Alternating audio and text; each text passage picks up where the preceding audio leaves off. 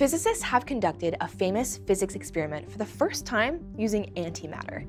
Get ready to dive into the quantum world, folks. We're going deep. If you're new to quantum physics, you may want to watch this video where we cover the basics. Essentially, we've got two main ways of explaining the universe, one that works with our idea of gravity, and one that works on the quantum level. The problem is, they don't agree with each other. Experimentalists and theorists are searching for the magic key that could resolve this paradox for us, what we like to call a theory of everything. And some think that the answer lies in a classic physics exercise called the double slit experiment. Here's how it works. You have a sheet with two slits in it. Behind that, a blank sheet. You have your source of matter, let's say cheese balls. If you fire the cheese balls through the double slit sheet, you should get two lines of orange cheese ball dust on that back sheet. Simple enough. But let's say instead of cheese balls, we want to fire something that moves in a wave, like sound. Instead of getting two slit-like impressions on the back sheet, you get a pattern of several lines. That's because the sound waves as they're passing through the slits bounce off each other and cancel each other out in what's called an interference pattern. But some things are not only a wave, they're also a particle. For example, the basic unit of light is photons. So what would happen if we start firing individual photons not as a wave? Well, if you cover one of those slits, you get what you'd expect, the imprint of those particles on the back sheet in one line. They just travel straight through. They're behaving like the cheese balls and not like the wave. But then, and hold on to your hats here, you uncover both slits and fire the photons, again, not as a wave. You'd expect to see two lines on the back sheet like with the cheese balls, but no, you see an interference pattern, even though the light shouldn't be behaving as a wave. It's almost like the photons know where the other photons are going to end up before they've gotten there.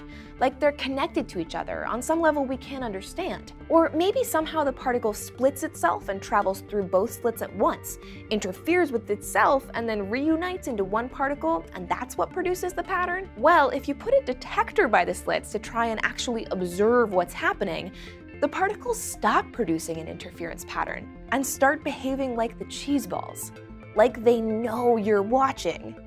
What? This mystery, this absolutely bizarre behavior, is widely considered one of the central mysteries of quantum physics, bringing together what we still don't know about the wave-particle duality of matter and the problem of measuring things on the quantum level. We still don't really know why observing and measuring a phenomenon may change what's happening, some scientists think that if we could understand the mechanics behind the double slit experiment, that knowledge would be the missing piece we need to unify our quantum theories of the universe with theory of gravity. And for the first time ever, we've seen the double slit experiment work for antimatter.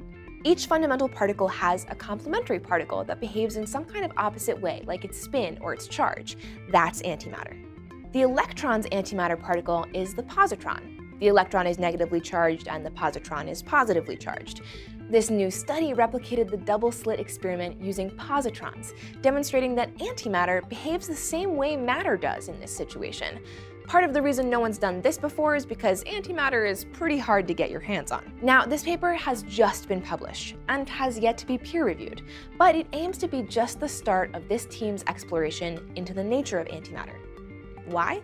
The main goal is to find out how gravity acts on antimatter. Which is important because some scientists think that gravity may act differently on antimatter than it does on matter, potentially helping us fill in those gaps between general relativity and the standard model, getting us one step further to a unified theory of everything. This may also help us explain why there's so much more matter in the universe than antimatter, a question we still don't know the answer to. So that would be pretty cool. Subscribe to Seeker for all your quantum physics needs. And fun fact, the double slit experiment was first performed in 1801. Thanks for watching.